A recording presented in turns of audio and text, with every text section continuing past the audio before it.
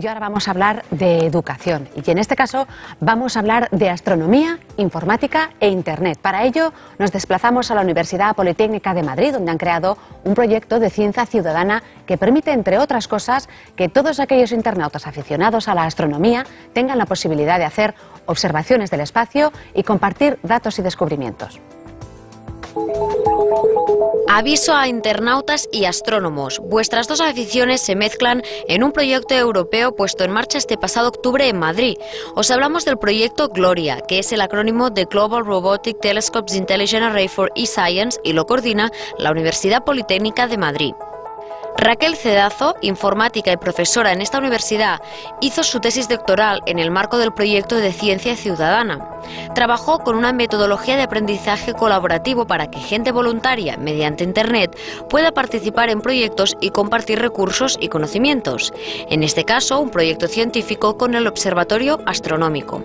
Pero ¿cómo se pasa de este proyecto a crear una red social de telescopios robóticos? Decidimos hacer aquí el primer observatorio y bueno, pues a partir de ahí empezaron mucha gente interesada en el ámbito de la astronomía a contactar con nosotros, que bueno, pues querían, estaban, tenían la misma idea, querían utilizar nuestro software y al final pues se buscó, se buscó un consorcio con el mismo objetivo y bueno, pues se ha hecho, se ha, eh, se ha hecho este proyecto. Ya son 13 socios en este proyecto europeo, 17 telescopios que se van a poner de ahora en tres años a disposición de los ciudadanos mediante la red Gloria en Irlanda, Inglaterra, España, Canarias y Andalucía, Rusia, Chile, Polonia, Chequia e Italia. Desde la UPM ya trabajan en proyectos y eventos programados dentro de Gloria. Los miembros del proyecto van a ir a los tres sitios diferentes de donde se hicieron las mediciones, Nueva Zelanda, Japón y Noruega. Se va a retransmitir pues el, tránsito de Venus. En los diferentes colegios, pues se va de las diferentes ciudades del consorcio, se va a explicar cómo se ha hecho y bueno, se va a eh, preparar un material para que los profesores lo utilicen y les expliquen cómo se han hecho esos cálculos para que bueno, pues los alumnos puedan eh, aprender un poquito de astronomía. Los usuarios podrán hacer experimentos más o menos avanzados según su perfil y conocimientos de astronomía e informática. En la UPM han desarrollado un software libre para que todo el mundo pueda conectarse registrándose de manera gratuita.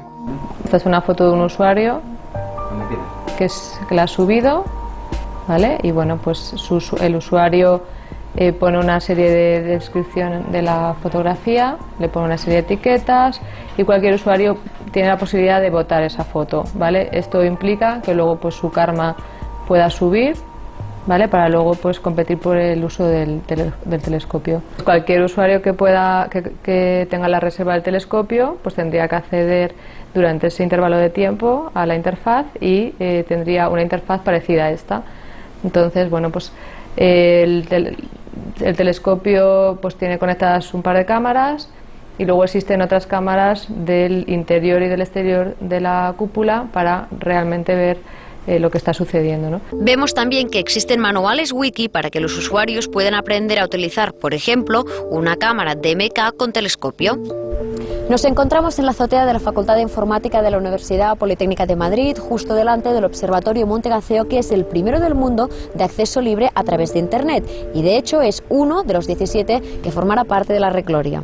Con la herramienta de estos telescopios robóticos, la metodología de trabajo de los astrónomos sigue progresando y se reducen los tiempos de observación. Y también se pueden utilizar de forma programada, es decir, uno puede hacer como un guion de los pasos que quiere que haga el telescopio, porque hay imágenes de galaxias que se necesitan mucho tiempo de exposición, horas incluso, y entonces pues no va a estar uno aquí pendiente una hora, sino que se hace una especie de guion de toma una imagen con el filtro rojo eh, durante una hora la galaxia M31, luego toma otra eh, con el filtro verde, toma otro con el filtro luminancia, etcétera pero también da oportunidad a muchos aficionados a la astronomía de poder participar en diferentes proyectos y acceder a bases de datos. Puede analizar los datos que se encuentran disponibles o bien que han sido tomados por otra gente o bien que han sido tomados por él mismo o bien bases de datos que están disponibles actualmente en Internet, como el Virtual Observatory, el European Virtual Observatory, por ejemplo. Nosotros en Gloria hemos dividido dos tipos de experimentos, los que se llaman online, en línea, que son los que manejan el telescopio,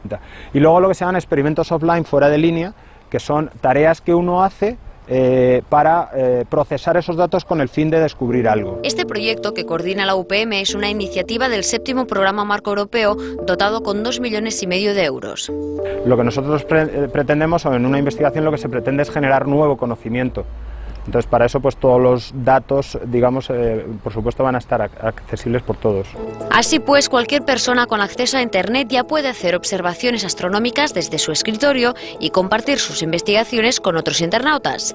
Cada vez queda menos de aquellos astrónomos que pasaron frío y noches sin dormir observando el cielo.